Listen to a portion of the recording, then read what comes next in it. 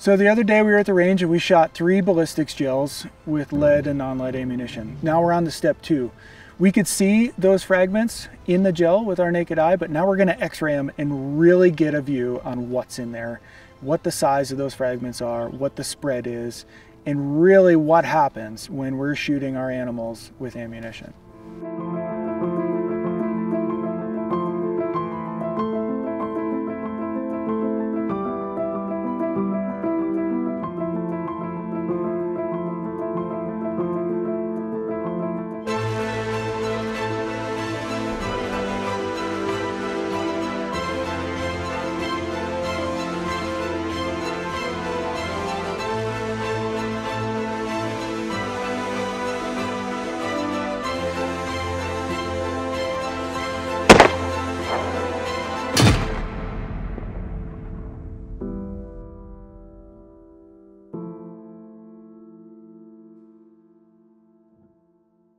We're starting with that ballistics gel that we shot with lead ammo. And so clearly you can see the fragmentation, how it's spread out across the wound channel. So these are those tiny little fragments all throughout here that are gonna be left in the gut pile.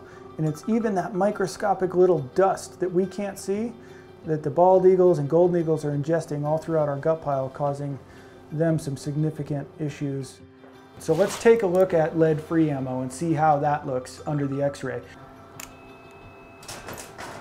So here we've got our two ballistics gels side by side. This one was lead-based ammunition and this one was lead-free ammunition.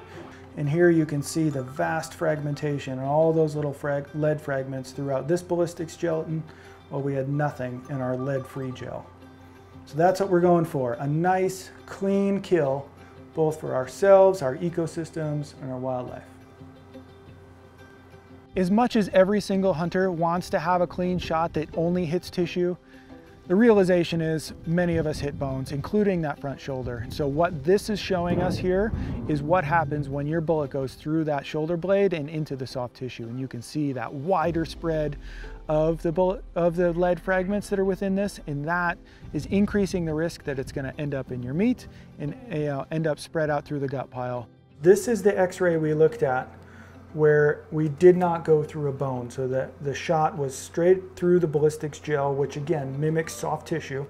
This one, the same shot, same caliber, same um, manufacturer bullet, but shot through a mule deer scapula. And you can see just this vast fragmentation that happens when you hit a bone. So as you go through hide, as you go through bone, it increases that fragmentation rate and also the distance at which those fragments um, travel beyond that wound channel.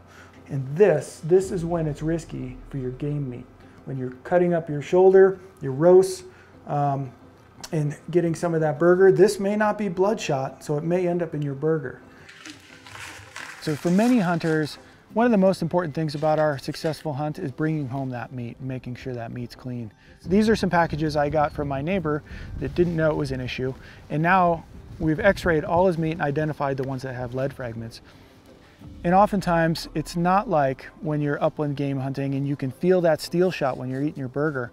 You know, when these fragments are so small, it's taking us multiple times. We got to pinpoint exactly where this little fragment is, cut it open, dissect it out and find that little fragment. You, your family, your kids, your grandkids, you'll never feel that as you eat it in your burger. And so that's why it's really important to just make sure it's not there in the first place. There it is. You may be saying to yourself, what the heck is the big deal? That thing, you could barely see it. It took a while to find it. Uh, you wouldn't notice it, you wouldn't taste it. It's not like you bite down on shot and you feel it on your teeth and break your teeth. But it is a big deal for the eagles. If an eagle eats a handful of those, which as we saw on the ballistics gels, very well could, in one bite in a concentrated area in that gut pile, could pick up a half dozen or even two dozen of those little fragments, and that's enough to kill it. An eagle can take a big chunk, no problem for an eagle to eat a piece of meat this big. Now imagine if this piece of meat was right down here, and now it just ate 20 or 30 fragments of lead. That's enough to kill it. So that's what we're talking about. And really, do you want that in your burger if you have a choice? I think most of us, the answer is no. We want our meat to be clean, which is why we're out there hunting, which is why we're having sustainable food for our families in a way that connects us to the environment. We want to leave no trace, we want to leave no impact on our wildlife, and the way to do that is moving over to non-lead ammo. So join us in that pursuit. Make sure you don't have those little lead fragments in your meat, and really make sure they don't end up in your gut pile when you walk away from it.